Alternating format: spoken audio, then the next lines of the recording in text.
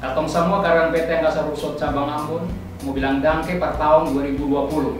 Banyak pelajaran, banyak kisah yang katong dapat. Mari katong sama-sama sambut tahun yang baru dan katong semangat baru. Katong bikin tahun 2021 jadi tahun pencapaian ke katong semua. Selamat tinggal tahun 2020, selamat menyambut tahun 2021.